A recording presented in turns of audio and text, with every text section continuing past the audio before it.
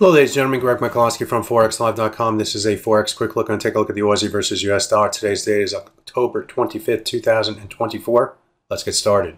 As we head toward the close of the uh, trading week and look toward the new trading week, uh, let's uh, review what happened in, in, trading in this currency pair.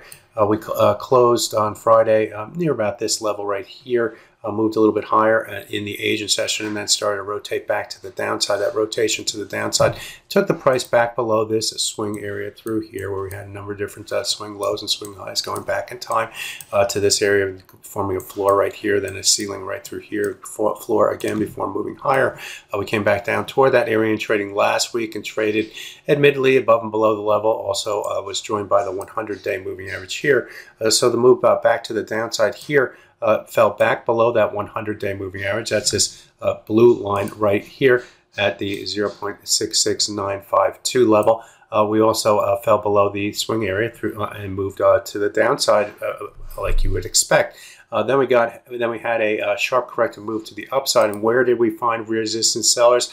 Right here against the 100 day moving average, right here against the swing high of uh, uh, uh, of this uh, or the high of this uh, swing area right through here. So the sellers did their job keeping this uh, keeping the price below that ceiling. And what did the price do? It moved up back to the downside as it should. That move to the downside took the price out to and through this swing area down through here, where again we had that number of different uh, swing lows forming a floor here. Then it became a ceiling through here got a little messy here before moving to the upside right here and then retrace back to the level and moving higher right through there. So we returned back to that level one, a little bit below that level and then rotated back to the upside.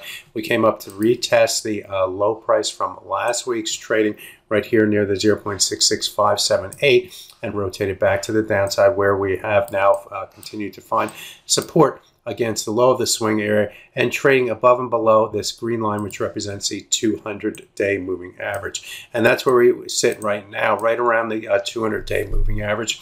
Uh, we are below the 50% retracement level, which is going to be our, uh, our, our, first uh, key target on the top side.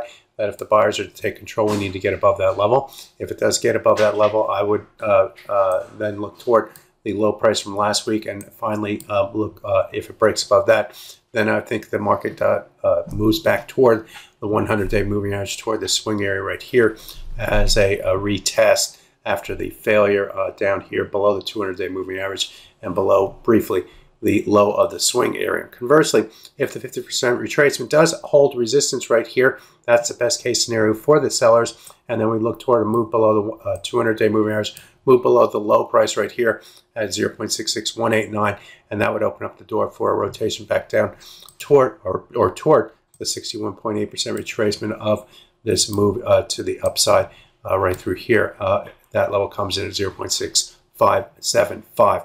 So uh, right now uh, we have uh, support down here at 0.66189. We have resistance up here at 0.66952, and we have the 50% uh, the 50% uh, retracement level and the low price from last week as uh, intermediate levels that would need to get above to increase the bullish bias if we stay below the sellers remain in control. So that's uh, my technical look at the Aussie versus US dollars. we head into the weekend, as we head into the new trading week. My name is Greg Michalowski. Good fortune with your trading. Bye-bye now.